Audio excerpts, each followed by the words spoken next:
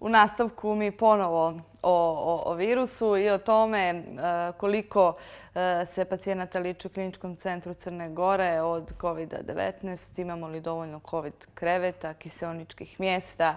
Sve to pitamo pomoćnika direktora kliničkog centra Crne Gore, doktora Nemanju Radojevića. Dobro jutro i dobro nam došli. Dobro jutro i vama i vašim gledalcima. Doktore, kakva je situacija u kliničkom centru? Ide li na bolje? Pa, blago. Ne smijemo reći da je e, taj neki prvi mhm. e, pokazatelj od prethodna dva dana e, zaista ovaj, i realna slika da situacija kreće na bolje. Vjerujemo da je zbog novih mjera koje su uvedene, ali E, zaista je jutros e, nešto manji broj e, bolničkih pacijenata u COVID dijelu bolnice. Njih je trenutno 68 u kliničkom centru.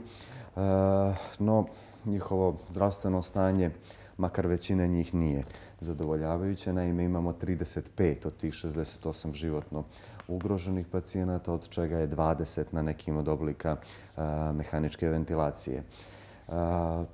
To je činjenica koja nas posebno brine, ali treba imati u vidu da je klinički centar od starta imao politiku da na bolničko liječenje se primaju samo najteži pacijenti, što je po mom mišljenju dobra odluka ljekara kliničara naše ustanove i što je naravno i potvrđeno od strane eksternih eksperata koji su bili u obilasku mhm. bolnice. Dakle, 68 pacijenata, što znači da imate dovoljno COVID kreveta. Koliko ih je još na raspolaganju? Mi smo prije neki dan proširili kapacitete upravo zbog mhm. ranijeg trenda rasta i na vaskularnu hirurgiju, tako da je i ta klinika pretvorena u COVID odjeljenje. Za sada je prazna. Tamo imamo novih 17 kreveta na, izvinite, sam rekao vaskularno, izvinite, grudnu hirurgiju. Grudna, dobro. Na grudnu hirurgiju. Tamo imamo 17 kreveta, od čega 14 kiseoničnih mjesta. To nam je jako važno da u svakom trenutku te pacijente možemo da, da imamo centralni dovod kiseonika, što je jeli, okosnica u liječenju. Tako da zbirno posmatrano trenutno nekih 108 e, postelja je u kliničkom centru raspoloživo za COVID e, pacijente. Naravno, s obzirom da je prije neki dan bilo nekih ovaj, nepravilnih tumačenja po medijima. Da, ovaj, bilo je da ste vi rekli da ima šest još, pa su onda kolege demantovali. Dobro, onda su ispravili sami kad su malo bolje poslušali. Da, u suštini veliki je kapacitet kliničkog centra i može se to još e, znatno proširivati. E, s druge strane, i neke bolnice druge u Crnoj Gori se prazne, pa mhm. neke lakše pacijente možemo slati kao što i šaljemo pacijente koji su pred otpust, ali im treba još par dana mhm. bolničkog liječenja u Brezovi. Tako da, da kažem, izvodljivo je e, za sada i naravno kapaciteti bolnički se mogu širiti na račun drugih odjeljenja. E, tu ulazimo u onaj problem što drugi pacijenti kojima je potrebna zdravstvena njega, a nisu oboljeli od e, novog koronavirusa, imaju problem u dostupnosti zdravstvene zaštite. S druge strane... Problem definitivno postoji. Da, da, naravno. Mi smo toga vrlo svjesni, ali situacija je takva kakva je i gledamo da, kao što je već više puta ponovljeno, pacijenti koji imaju hitna ili urgentna stanja, koji su životno ugroženi zbog drugih stvari, ne smiju i ne trpe zbog toga. Također je ista stvar i sa pacijentima sa malignim bolestima, odnosno svim onim čije bi eventualno odlaganje liječenja uticalo na, na prognozu. Ukoliko se budu širili kapaciteti bolnice, i u nekom, da kažem, najgorem scenariju čitav klinički centar bio pretvoren u, u COVID bolnicu, što nije nemoguće, ali se nadamo da toga, do toga neće doći, onda imate veliki problem jer... Šta bi se desilo da se pretvori klinički centar u COVID bolnicu? Da, šta? Gdje će onda da, ostali? Da, vi imate, klinički centar je jedina tercijarna ustanova u zdravstvenom sistemu. Imate jedan veliki broj procedura koji su rezervisane za najteže pacijente koji se isključivo tu rade. Tako da u tom scenariju bojim se da bi imali jedan znatan broj ljudi koji bi ne bi imao adekvatnu zdravstvenu zaštitu zato što prosto... Mi bi imali onda, ne da može smrtne ishode zbog drugih tako bolesti. Je, tako je. Za sada se to ne dešava i nadamo se da se neće desiti i vjerujemo da će nove mjere mada sam ja, moram reći, mnogo bliži nekom stanovištu koje se kroz medije može čuti, koje zagovara doktor Nebojša Kavarić iz Doma zdravlja Podgorice, koji je mnogo više orijentisan da te mjere budu restriktivnije jer i on dobro zna... I vi mislite da bi trebali da zatvorimo se skroz na određeno tako vrijeme? Tako je, na kratko vrijeme, tako je. On dobro zna da su COVID ambulante po Podgorici prepune naši infektolozi koji rade u ambulantnom dijelu klinike, znači sa pacijentima koji nisu na bolničkom liječenju, su također opterećeni. To su sve činjenice koje govore u prilog da, da pritisak prosto mora opasti. Da li će to biti dovoljno sa ovim mjerama? Evo vidjet ćemo. Eto, rekli ste na početku, blago je da kaže manji broj. Pa, pa sa 80 na 68, znači mi svakodnevni su otpusti, premješta i nažalost i neki pacijenti umru, kao što ste svjedoci. Ovaj, novi se primaju, na primjer, jučerašnji, odnosno sinošći primjer. I kakav je bio jučerašnji dan? Pa bio je u neku ruku povoljan, nije bilo previše smrtnih iskoda. Nemam sad tačan podatak još uvijek. Ovaj, Eh, ali, na primjer, primjeno je 4-5 pacijenata koji su svi starije životne dobi pozitivni novi koronavirus, što je samo po sebi ovaj, nepovoljan prognostički faktor, jer stari ljudi imaju određene propratna, i određena propratna oboljenja. Tako da, evo, vidjet ćemo kako će se to sve... Kad spominjete ta propratna uh, oboljenja, kakva je sad situacija? Dešava li se da imamo smrtni ishod u slučaju kad neko nije imao nikakvu drugu bolest, odnosno... U toku izrada jedne studije mortalitetne statistike mhm. vezane za povezanosti drugih oboljenja i uopšte nekih drugih faktora sa umrlima u Crnoj Gori, pa ćemo vidjeti šta ćemo tu dobiti, da li su naši podaci komparabilni sa regionom i ostalim dijelom jeli, svijeta, ali imali smo slučajeve, ono što prosto čujete na jutarnjim sastancima kada kolege kliničari referišu slučajeve, da imamo i, i, i ljude koji nisu imali, koji su bili mlađi, koji nisu imali propratnih nekih oboljenja, a da i njihova klinička slika bila teška, da su umrli i tako. E, koliko je bitno to na vrijeme doći kod ljekara, odnosno u bolnicu? Doći kod ljekara svakako na vrijeme i svakako na vrijeme poslušati savjete ljekara kako za terapiju, tako i za drugi za mhm. način ponašanja, odnos prema bolesti, praćenje samostalno praćenje e, simptoma razvoja kliničke slike. A što se tiče prijema na bolničko liječenje, za sada mislim da tu nemamo, nemamo problema, da svaki prijem koji je indikovan je e, bio i ostvareni. Ti, ti pacijenti su, su, su hospitalizovani i pružena im je zdravstvena njega e, koja je propisana e, važećim i kod nas usvojenim protokolima. Imali smo slučajeva i da neki pacijenti se, nažalost, kasno jave i da praktično nemate tu mogućnosti, nemate prostora vremenskoga da, da naši ljekari sa klinika da reaguju. E, doktore, rekli ste 108 e, postelja u kliničkom.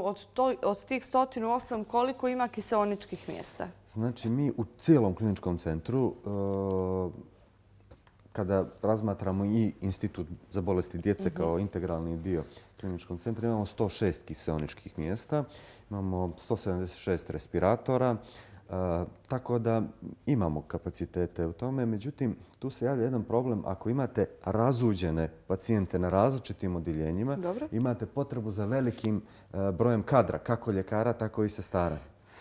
Tako da e, to onda znatno usložnjava situaciju jer ne možete u, nazovi, čisto odjeljenje imati COVID pacijente. Automatski to odjeljenje je u povećanom riziku za, za ostalo. Tako da trudimo se da, da ih za sada grupišemo ovaj, na do sada određena e, COVID odjeljenja, infektivnu kliniku, internu kliniku, neurohirurgiju koja je već odavno e, pretvorena u e, infektivno B, takozvano odjeljenje, dio kardiologije, evo sada i grudna hirurgija i tako.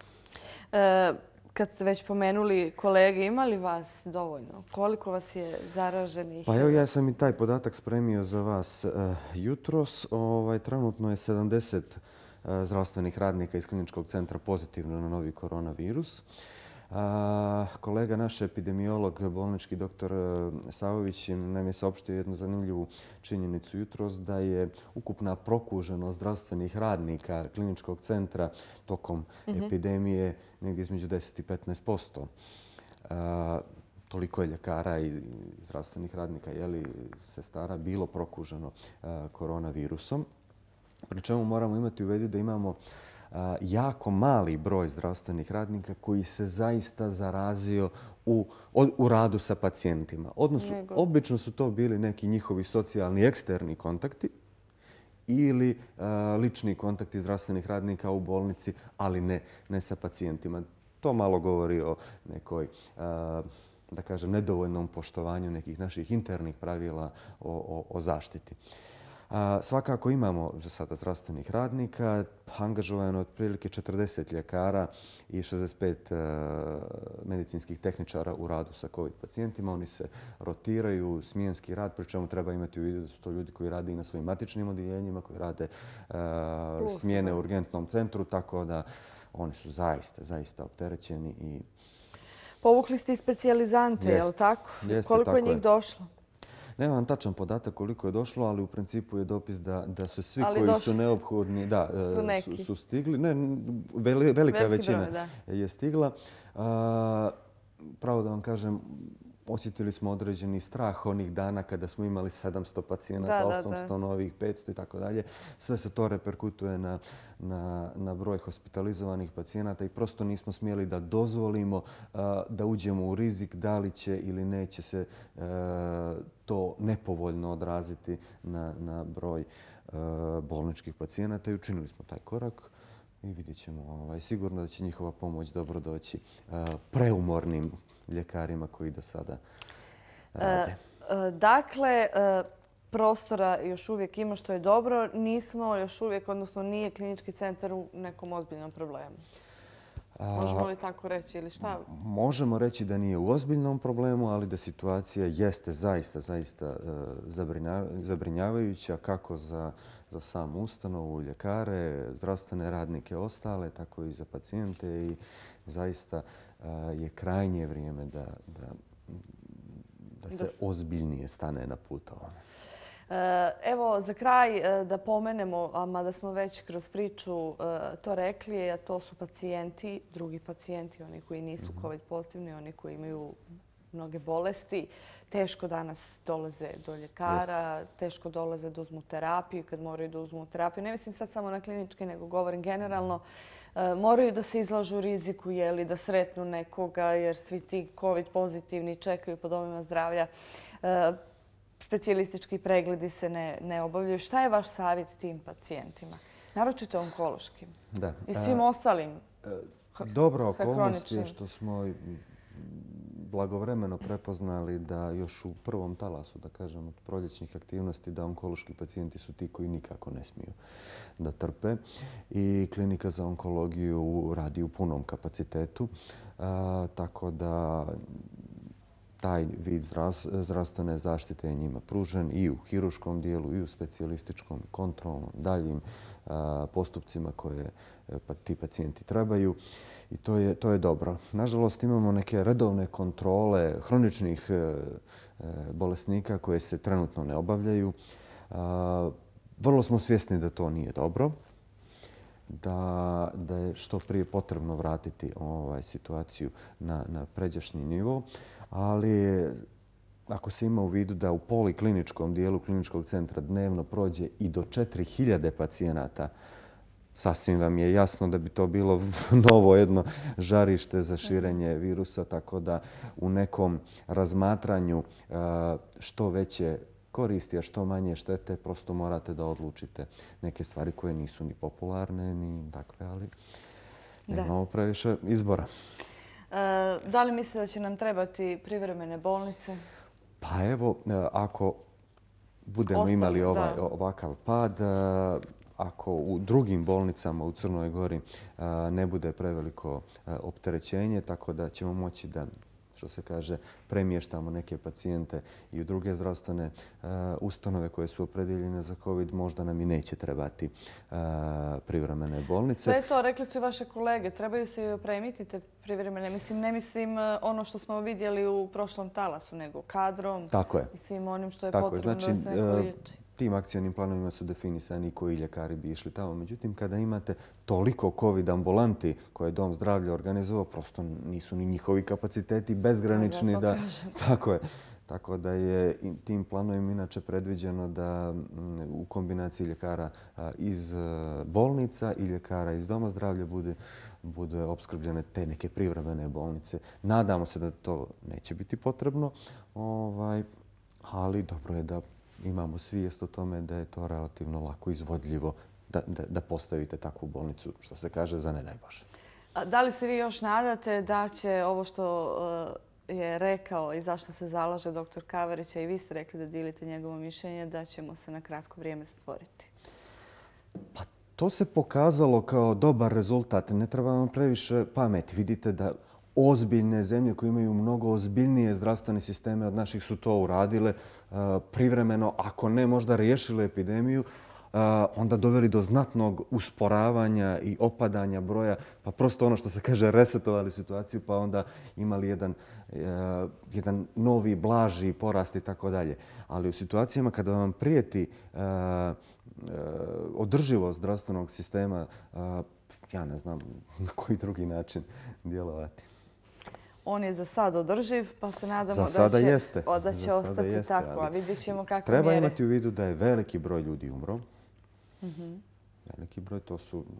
Znači, da vam je neko u martu rekao da ćete imati preko jeste. 300 mrtvih eh, od, eh, od ili sa eh, korona infekcijom, ovaj, to je bilo da. vrlo dramatično doživljeno, a danas je evo kao i nazovi normalno, što nikako nije dobro. Jer prosto je, to govori o stepenu opuštanja, e, osjećaju da taj rizik e, koji vam prijeti od korone nije toliko strašan. Nije tako. Hvala vam, doktore, mnogo što ste jutro bili naš gost. Hvala i vama.